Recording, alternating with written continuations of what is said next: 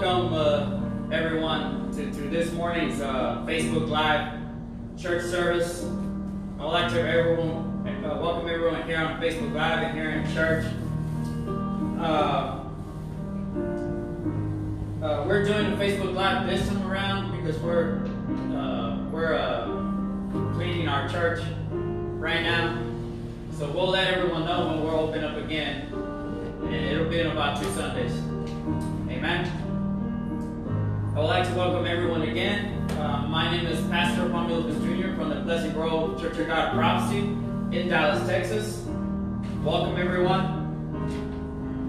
Uh, the virtual youth camp 2020 will be from June 17th through the 19th via Facebook and Instagram. The youth camp directors will be TC and April Villalobos. You can contact them at the email address apvillalobos13 at gmail.com. Again, apvillalobos13 at gmail.com. And the phone number to contact them is 281 831 6049. Again, it's 281 831 6049. You can also visit the website at www.txcoga.com forward slash camp for more information.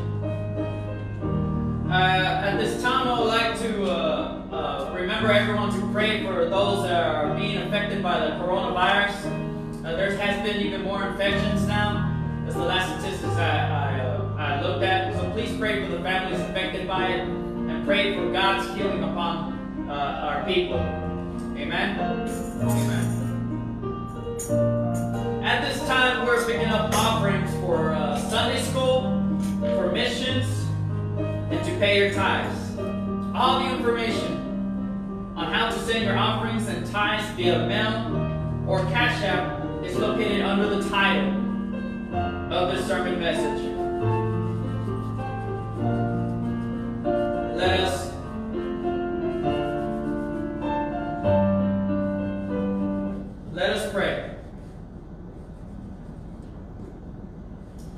Dear Heavenly Father, thank you, Lord.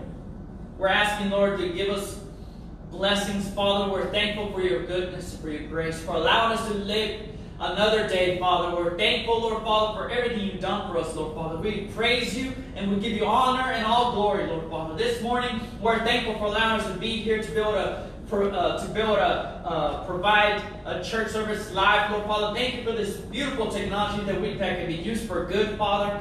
Father, I pray that we're using it for your honor and glory, Father. We're asking that you bless those, Lord Father, that are able to give, Father, uh, uh, in, um, in, during these offerings, Father. And I'm asking that you bless those that have a heart to give and are not able to, Father. Bless them, Father. I pray, Lord, that you bless those that want to give and are able to, Father. I pray that you multiply the missions offering, the Sunday school offering, Lord Father, and I pray that, that you use that you bless it and you use it in the way you want it to in this church community, Father. We're asking, Lord, that you bless those, Lord Father, that that gleefully give, Father, to the to the ministry of the gospel of Jesus Christ, Lord Father. I'm thankful, Lord Father, and we're asking, Lord, that you bless this this sermon message, Father, and I'm praying that you bless it. Father, I pray that you use me for your glory and honor, Lord Father. I pray that you fill me with your Holy Spirit, Father. I pray that you bless this uh, this offering, you bless this this uh, message, Father. I pray that, that that you take away any any opinions, any emotions, any uh, any presuppositions, Lord Father, or any assumptions out of my heart and mind, Father, to remove any negativity, negativity out of my heart and mind, Father, and fill me with your Holy Spirit. Fill me with your words, Father, so that the, the church uh, virtually can be uh, edified, Father. So those that are here, Father, may be edified as well, Father. I pray that, that today's word is a blessing, Lord Father, on Psalms chapter 1. Father, I pray that you bless them in a mighty way, Father. I pray that, that they realize that Jesus is the way of the righteous, Father, that there's a way that we must conduct ourselves as Christians, Father. Bless them, Lord Father. I pray that, that as they listen to the word of God, that they apply it in their lives, Father. I pray this in Jesus' name that it serves to bless them. In the mighty name of Jesus, Lord. Amen and amen. Let us open our Bibles to the book of Psalms, chapter 1, verse 1 and through 6. Salmos capítulo 1, versículo 1 a 6. Follow along as I read it to you.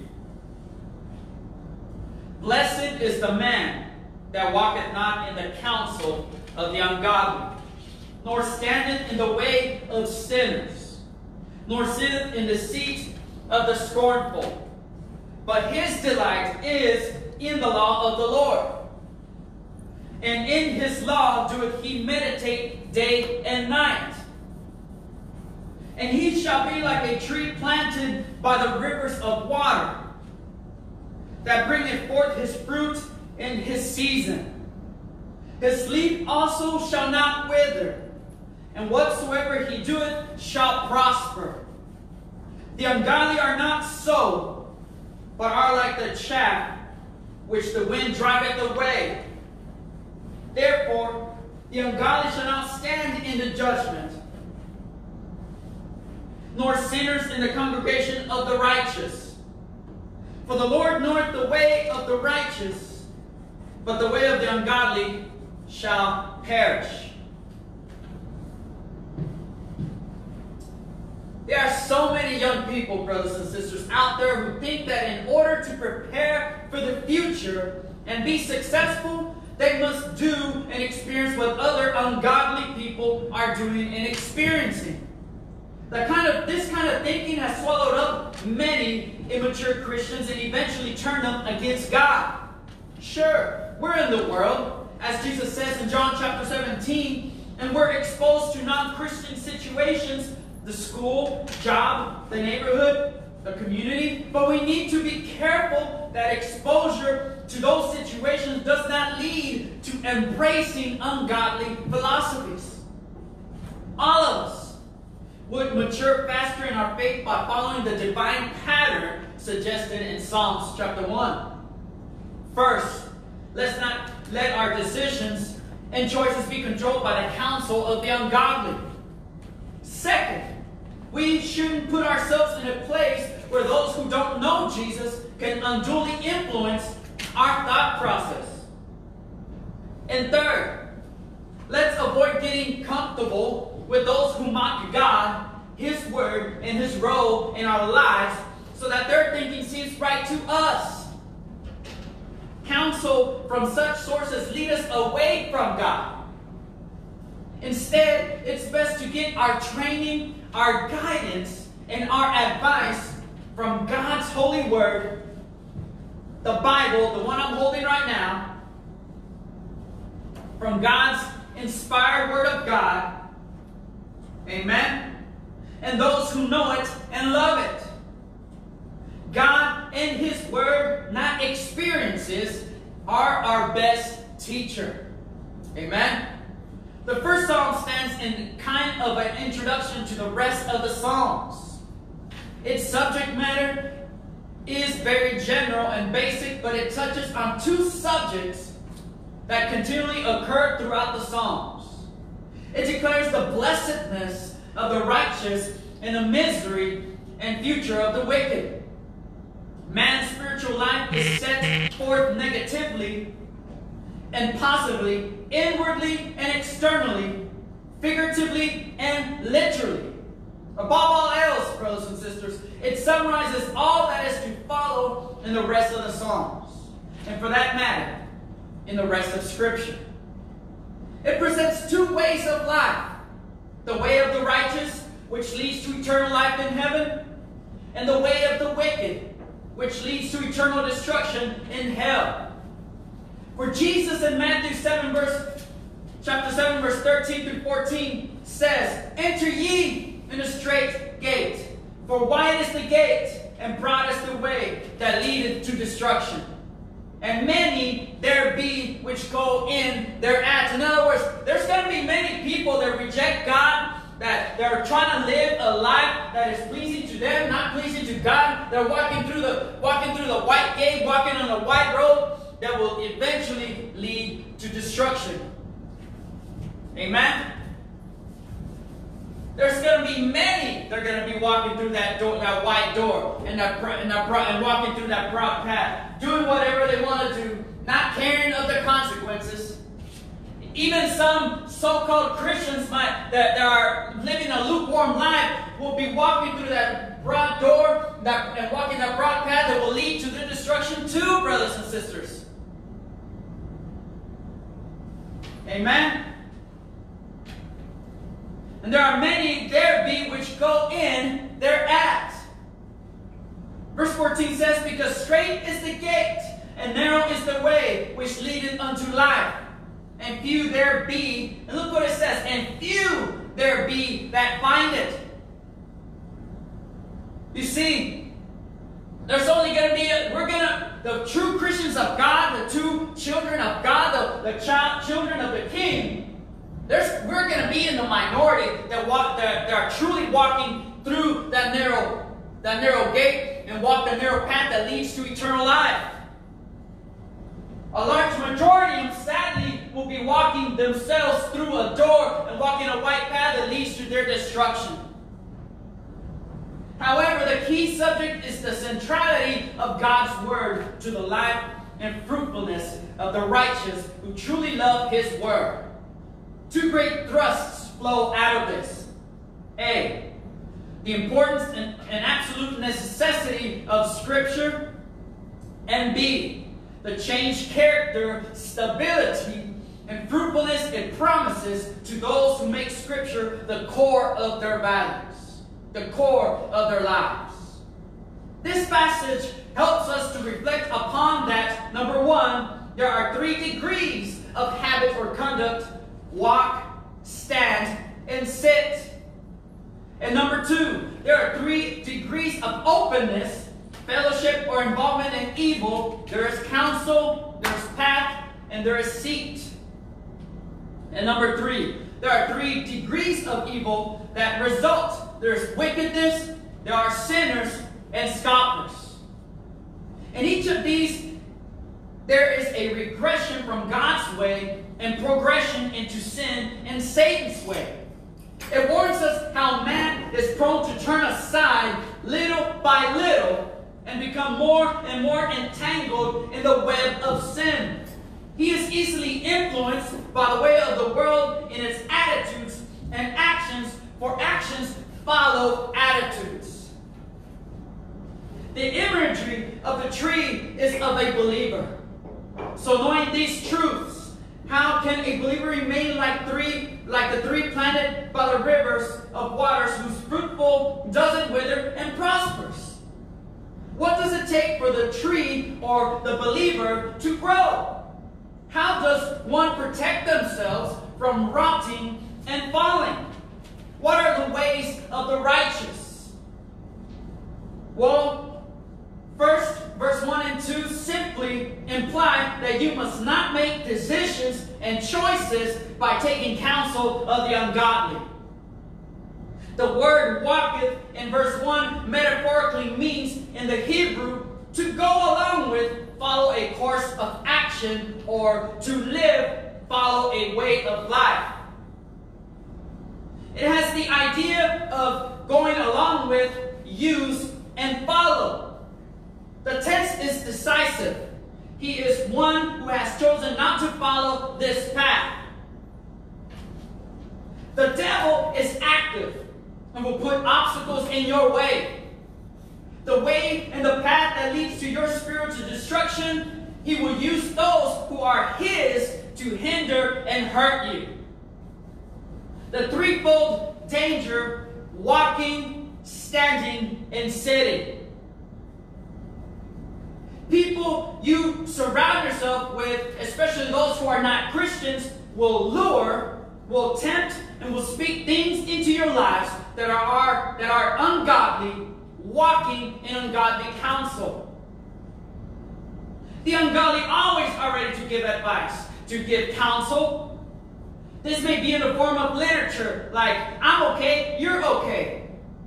This may be in the form of advertisement, like Budweiser, this Bud's for you, treat this. Or advertising like McDonald's, you deserve a break today, eat this. This may be even in the form of entertainment, like talk shows with secular opinions, solutions, and they're focused on self esteem, on self, on selfishness, on themselves instead of God. You see, we live in a world of vanity. We live in a world of me, me, only me. The whole entire world revolves around me. But they completely forget about God. They don't even, they don't even recognize God. They don't even acknowledge Him. You will find it in movies where violent and immoral men and women advocate revenge, up one-upsmanship, material possessions, infidelity, and moral relativism. Also, in radio shows, they are full of secular psychology and opinions. There's also music that promotes sex, violence, and hatred against authority, much, what, much like what's going on right now, and mistreatment of women, like hip hop and R&B. Any of the secular music promotes the, the mistreatment of women. They tend to disrespect women. They tend to disrespect the, the, the honor of women. They tend to dishonor women. And let's not forget how ungodly some of today's children cartoons are, where they suggest to our children by subliminal means that homosexuality and transgenderism is perfectly normal and acceptable behavior. And I tell you, that is not acceptable behavior. Brothers and sisters, parents, moms and daddies, it's your job to teach your children and not allow secular entertainment to teach your children. You are not to allow secular games and video games to teach your children. It is your job. It's not Facebook's job. It's not YouTube's job. It's not Google's job. It is your job to teach your children between right and wrong. What is godly or ungodly. And all of these, the secular world mocks the true God. So, with all these secular ungodly influences, how should you and I take decisions and make choices? Well, according to verse 2, we are to make the study of God's Word right here. Open up the pages of the Bible. When it has been the last time that you have opened the Bible, brothers and sisters? Honestly. When has been the last time that you opened these beautiful pages of God's Word how many times have you at least read the Gospels, where the very words of Jesus are written and read in Scripture? When was the last time you opened the Bible and, and, and prayed and fasted or meditated in the Word of God? You should be doing it daily. We are to make the study of God's Word part of our lives, brothers and sisters, every day. It is to be one of the key purposes and affairs in our life in which we delight in and to which we give careful attention to. In other words, it should, it should be something, the Word of God should be something that should excite us. Amen. It shouldn't be a burden for us to read the Word of God. It shouldn't be a disturbance to us to read the Word of, to read the Word of God or, or study to show ourselves approved unto God. It should not be a chore for us to open up the Bible and read the Word of God. We shouldn't have to schedule it in to be able to read the Word of God. We shouldn't have to schedule God into our lives. Like, let's say, I'm going to spend 15 minutes with God. No, that's not how it works. Whenever the Holy Spirit touches you, whenever you begin to connect with God, that is the time you spend time with God. That is the time when you open the Bible and you read the Word of God. That is something that each believer should experience in their lives. We are also to meditate on the Word of God. The verb meditate literally means to moan and to growl and to utter and to speak and to muse and to think and to plan. This is a comprehensive term for the study and application of the Word of God in one's life. There's also a second way of the righteous, or to put it simply, a second way to remain righteous, according to verses 3 and 4. And that is not that is by not putting ourselves under the ungodly influence. Not putting ourselves under ungodly influence Standing in the way of sinners does not mean standing against them, but with them, agreeing with them. The people you hang around with regularly, you tend to be drawn to be in their likeness. Show me your friends, and I will tell you your character. So, with all these ungodly influences, brothers and sisters, how should you and I be influenced? Well, according to the verse 3, we should be like a tree, a tree planted in the by the rivers of water. What a beautiful illustration, brothers and sisters. A tree reaching down its roots in the stream, drawing life from the water. Oh, hallelujah. Oh, hallelujah. We are supposed to be drawn. Hallelujah. Hell, praise the Lord. The Holy Spirit. We're supposed to feed off the Holy Spirit, brothers and sisters. Hallelujah. Praise the Lord. The rivers represents the Holy Spirit. Amen. And we're supposed to feed off from the living waters, from the power of the Holy Ghost. Hallelujah. We're supposed to be empowered by the Holy Ghost. We're supposed to feed off the power of the Holy Ghost. Hallelujah. Praise the Lord. The river represents the Holy Spirit. A tree has deep roots and is usually very sturdy, and especially when compared to a weed. A tree portrays stability and the capacity to withstand the storms of life. Have you ever noticed um, uh, when, when the wind blows really hard and the trees are just swaying back and forth, back and forth, and the majority of the time they don't, they, they don't, they are unrooted. That is how we are supposed to be, brothers and sisters. We're supposed to be stable. We're supposed to be firmly rooted in the, in the Word of God by the power of the Holy Spirit, fed by the Holy Spirit, filled with the Holy Spirit. So that when storms of life happen, where uh, uh, we aren't we aren't unrooted from, from, from the foundation of the Word of God. Amen? It's the picture that Paul paints to the Philippians in chapter 4, verse 11 of mental, emotional, and spiritual stability in every kind of situation. Not that I speak in respect of one, for I have learned in whatever state I am, and no matter what situation I'm going through, therewith to be content.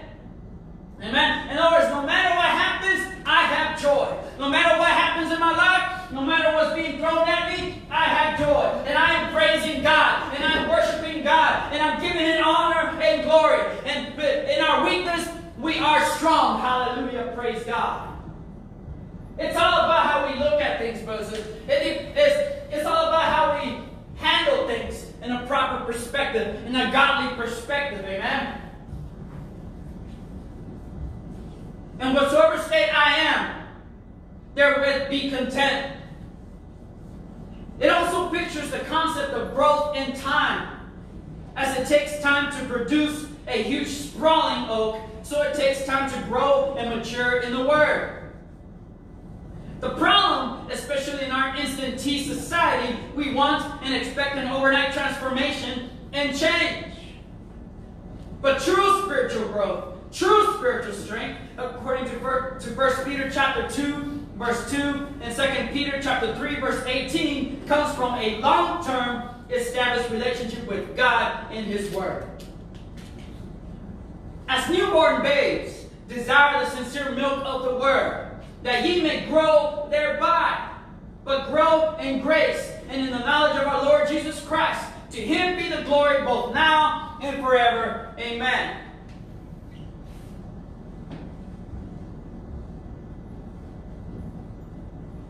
The tree mentioned here also bears fruit. Jesus said in John 15, verse 5, I am the vine, ye are the branches, and he that abideth in me, and I in him, the same bringeth forth much fruit. If we remain in the Word, Jesus, and the Word Jesus remain in us, we will bear much of the fruit spoken by Paul to the Galatians chapter 5, verse 22 through 23, that comes from the power of the Holy Spirit.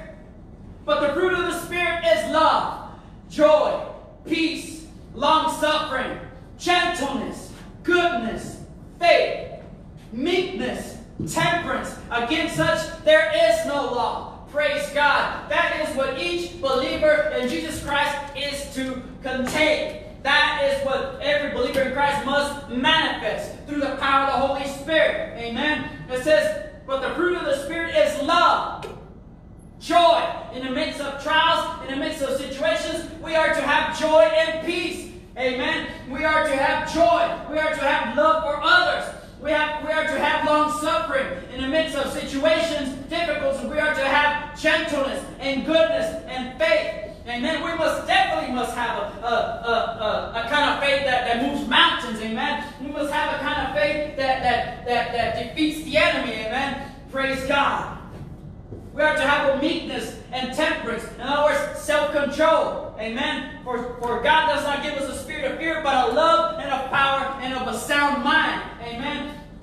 We are to have a, a certain a mental self-control. Amen. Not to get angry so fast. Not to be a hothead. Amen. Not to be hot-headed. Amen. Like kind of like many people are acting out right now in this in today's society, in today's situation. Amen. A lot of hotheads out there destroying things.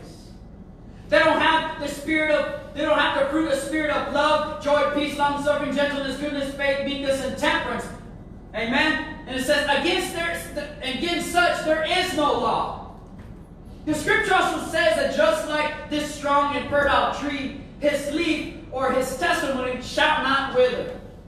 As long as we continue in the Lord, we will not be as the withered branch that is cast forth in the fire to be burned. As long as we walk in and stand with and sit with and delight in the ways of the Lord and everything we do for Him according to His purpose, we will prosper. We will experience a profound manifested growth in the days, in the ways of the Lord. We will experience God's work of goodness, as Paul puts it in Romans chapter 8, verse 28. Because we truly love God. We truly love Him. We truly love the Holy Spirit. We truly love the Son, Jesus Christ. It says, and we know that all things work together for good to them that love God. Hallelujah. To them who are not called according to His purpose. Praise the Lord. Hallelujah. Praise the Lord. You see, God's children have God's favor upon them. Those who truly love God have God's favor upon them. It says that when we know that all things work together for the good to them that love God. You see, that is God's promise for those who love God with all their hearts, with all their souls, with all their mind, with all their strength, with every fiber of their being. Amen. He says, all things work together for the good to them that love God to them who are the called according to God's purpose. Amen. But unfortunately for us, but fortunately for us, that's not all. There's still one more path to righteousness, according to verses 5 and 6, and that is by not getting comfortable with the ungodly. You see, this is this getting comfortable with the ungodly kind of starts for the believer. It kind of starts with being comfortable with your own Christianity being comfortable with your own salvation, not working out, not, not uh, doing your part in working out your own salvation, reading the Word of God, studying, praying, and fasting, and be, being involved in the church. Amen. This kind of starts with Christianity being comfortable and just be and just sitting in the pew, comfortable in your spot, not, not getting uncomfortable in the Word of God, not getting uncomfortable in, in the power of the Holy Spirit. Because Christianity is not about being, being comfortable, about being settled, about living a life that is stagnant, not where there is no growth in a believer. When we, when Christians become comfortable, you never grow in the faith. You never grow in your walk with the Lord. You never grow because you're not opening the Word of God. You never grow because you're not truly walking in the Lord. You're not truly having a true relationship with God. So, because of that, later on we become lukewarm Christians. And then we start getting comfortable, and that transfers to comfortableness with the ungodly. Amen? Sitting down, as verse 5 suggests, emphasizes a thoroughly settled state or condition settled down, comfortable, content with the world, with its patterns entrenched in our lives. I'm afraid this is the state of the majority, even of the majority of the church. Just like I was talking about, brothers and sisters. There's many Christians in Christian churches, especially in churchianity in American church. They're just sitting down in their pews, comfortable with their lives, not even following the Word of God, not even living for God, not praying at all. They don't even have a prayer life. There's many that don't even have a Bible study life. They don't even open the Bible. They just come to church to listen to a word and then go on with their lives and live as they please. There's a lot of lukewarm Christians out there. Being comfortable and content with the world with its patterns entrenched in our lives. Past Gallup polls, which compared the church and the unchurched, showed that there was basically no difference in the way they lived their lives. In other words, in other words, brothers and sisters, there's no difference between the worldly and the ones that are supposed to be the church. You see, the church is supposed to be different. Amen. We're supposed to be a peculiar people. Amen. We're supposed to be different from others. We're supposed to be, we're, we're not, we're, we're supposed to be, we're not supposed to be of the world. We're supposed to live in the world, live our lives as, as we're supposed to, and, and, and, and be the, and shine the light of, of God to the people so they can see.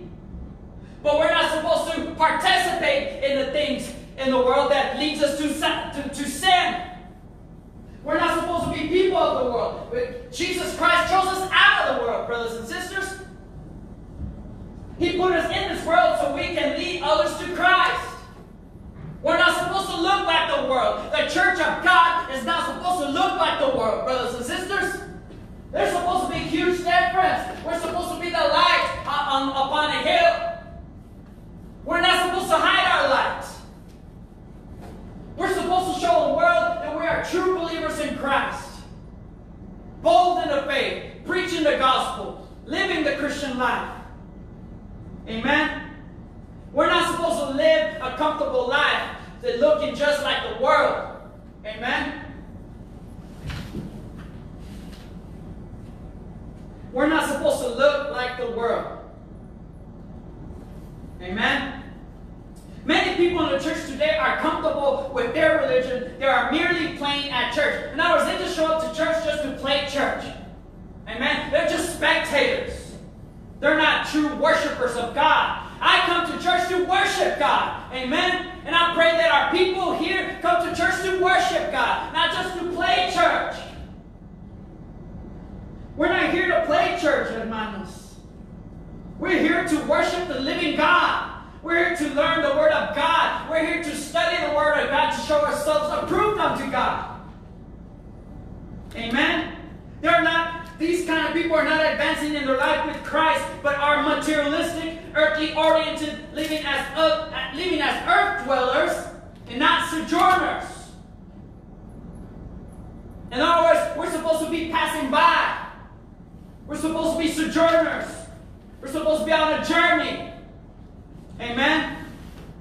They are sitting in the seat of the scornful, as verse 1 insinuates. In, in essence, they are getting comfortable with those who mock any and all things of God. Are you comfortable with the world, with politicians, with other unbelievers, with other people on, on, on social media mocking the word of God, using the Lord's name as vain? Are you comfortable with the movies that you watch? Are you comfortable with the shows, with the cartoons that using the Lord's name in vain? It should grieve your spirit. It should hurt you. If you're a true Christian filled with the Holy Spirit, it should grieve you. It should grieve you. It should grieve you. It should hurt your spirit. Just like it grieves the spirit, it should also grieve you. We should not be comfortable with those who mock any, any and all things of God. The word seat in the Hebrew has two meanings. Number one, a seat, a place of sitting, and number two, an assembly where many are gathered together to sit and make deals or have close associations with. The point is, when you sit in someone's seat, according to, the, to this idiom, you act like or become what they are. You are viewed as, a, as in confederacy with them. The word scornful in the Hebrews means to mock, to deride, to ridicule, or to scoff at. Grammatically, it is a participle of habitual action. In other words, it becomes a habit for you to mock those uh, things of God. And you and you don't even stand up for what is right. You don't stand up for God when you hear someone else mock God. You should be angry when, when someone speaks ill of God. It should hurt you. It should be painful to you. When someone is, is, is using the Lord's name in vain. It becomes a habitual action for many. It refers to one who is actively engaged in putting down the things of God in His Word. But please note that scoffing can, can occur by declaration of words or by declaration of a way of life that scorns the moral absolutes of Scripture in its way of life. So it's not just also words, it's the you live that is that is a mocking, that is scornful, that scorns the moral absolutes of Scripture in its way of life. Let me give you an illustration. A few years ago, Cathy, the son of Chick-fil-A, founder and chairman, said, I think we are inviting God's judgment on our nation when we, when we shake our fist at him and say, we know better than you as, who, as, who, as, as to what constitutes a marriage, end quote said the business leader. I pray God's mercy on our generation that has such a prideful, arrogant attitude to think that we have the authority or the audacity to define what marriage is all about. From this retrogressive process, it is easy to see that people simply do not remain pass, passive about God. We can't. Passive, passivity towards God and His Word leads to activity in sin, and finally, to overt activity against God. That is a law of life. And many do it. And many enter in in that gate that is wide, and many walk in, in that broad path that leads to their own destruction, to hell. So, how do these people scoff at the Word of God? By blatant ridicule or rejection. But there are other ways, brothers and sisters. They scoff at God by indifference. We think we have better things to do with our time. Amen? They scoff at God by substituting one's own ideas, experience, emotions, feelings, or traditions for the Word of God and its principles. And there's many of that going on even in the church. They scoff at God by listening to His Word proclaimed, but then ignoring it completely. In essence, we scoff at the word of God when we fail to obey it and order our lives accordingly. Those who mock in their ignorance the ways of God are adopting their attitudes. The road of the scornful is always downward and it leads to their destruction. What is it then that the church needs? It needs the Bible. It needs the Word of God. It needs the inspired Word of God. They need to open up the scriptures. They need to read the Word of God. They need to study to show themselves approved unto God. What is it that pastors and elders ought to be doing? They need to be preaching and teaching the scriptures, not opinions, not attitudes, not negativity, not emotions, not opinions, not presuppositions, not assumptions, not positions, but God's holy word, God's scripture, God's word of God. Amen. What do you think Jesus prayed? Father, sanctify him by your truth. Thy word is truth.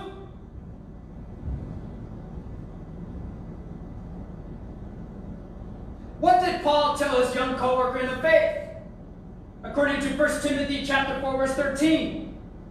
First he told them, till I come, give attendance to reading, to exhortation, to doctrine.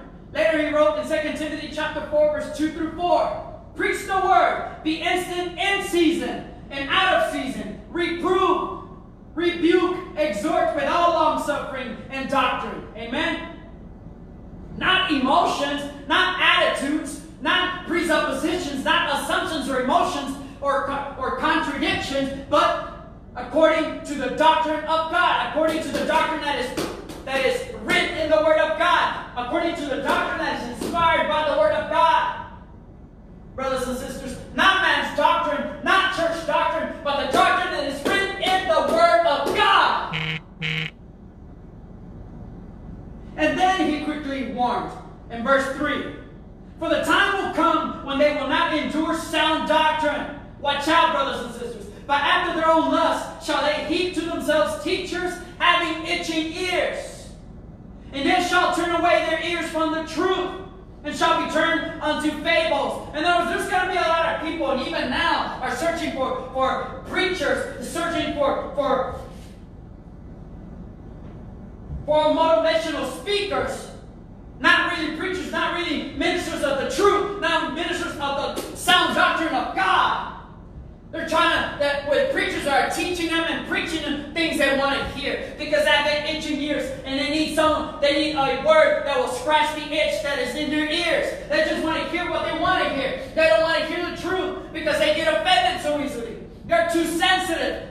Amen? And they get offended when, when the truth is preached to them. They don't want to hear the Word of God. They don't want to hear the sound doctrine of the Word of God written rooted in the Word of God. They don't want to hear Holy Spirit filled messages. They don't want to, they don't want to feed off from the power of the Holy Ghost. And sadly, all they're going to be listening to is fables, lies, deceitfulness, untruthfulness, unworthiness. And it says, and they shall turn away their ears from the truth. They don't want to hear the truth. Say, I don't want to hear that. That's not the Jesus that I know. That's not my Jesus. That's not my God.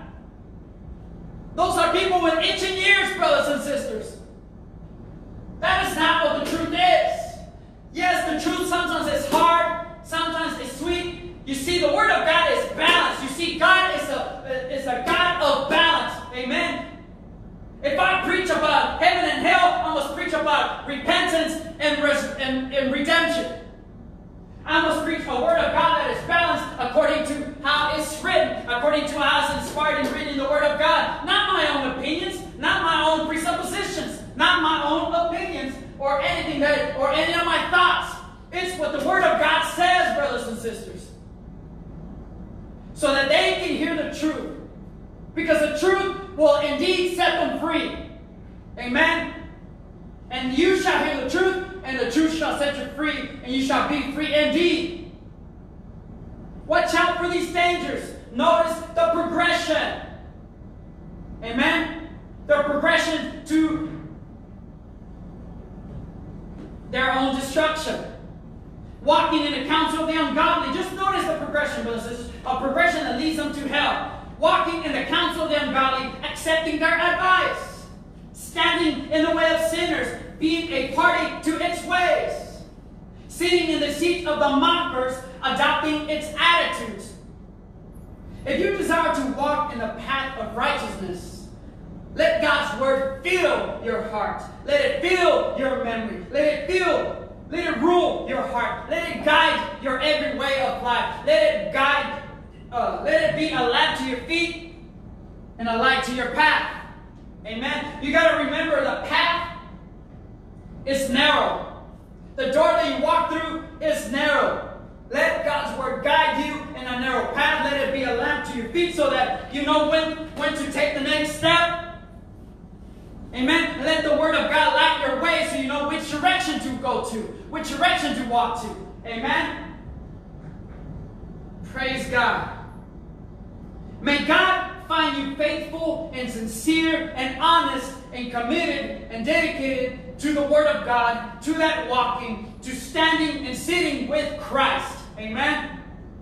Not sitting with the world, not sitting with the ungodly, settling with their attitudes, allowing their attitudes to influence you. Will you take a stand to walk the way of the righteous? Will you take a stand for what's right according to God? Will you take a stand for what's right, for what's righteous, for what is God? I invite all of you this morning to bow your heads and come to the altar of prayer and pray to the Lord. Come into the presence of the Lord this morning. Everyone that is on Facebook Live right now watching, bow your heads. Come to the altar. Get on your bended knee and seek God to touch you. Seek God to have His way with you. Seek the Holy Spirit to fill you, your heart, to fill, to rule your heart. Ask God to help you understand, to open up the scriptures to you. If you're one of those that struggle with understanding the Word of God, ask God, ask Jesus to help you. Ask the Holy Spirit to lead you into all truth. If you don't believe in, if you don't know Christ as your Lord and Savior, God is inviting you. I am inviting you. The Word of God is inviting you. The Lord is inviting you to repent of your sins and seek His forgiveness. He's inviting you to, to He's compelling you right now, He's inviting you to accept Jesus Christ as your Lord and Savior and King over your lives. He wants to uh, get, He wants to give you a heart of flesh. He wants to take away your heart of stone, all that bitterness that you're holding right now, all that hatred and grudge you're holding right now. He wants to remove that heart of stone. He wants to give you a heart of flesh. He wants to pour His Spirit in you and cause you and compel you to obey His word, to walk in His ways, to live a life that is pleasing to Him and not pleasing to the world.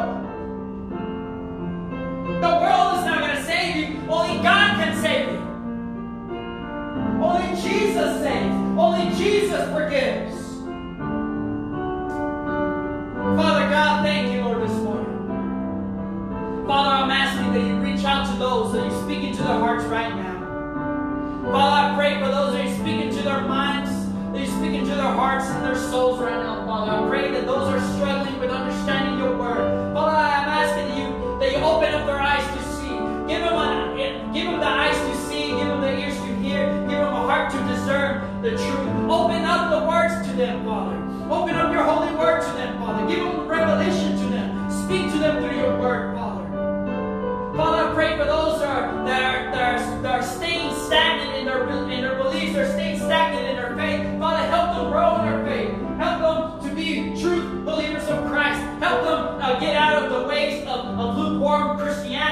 of fake Christianity, but, but follow the ways of the Lord, to walk in the ways of the Lord, to walk that narrow path that leads to righteousness, to walk that narrow path that leads to eternal life. Father, help them and guide them and be with them, Father. I know that your word says that you never leave us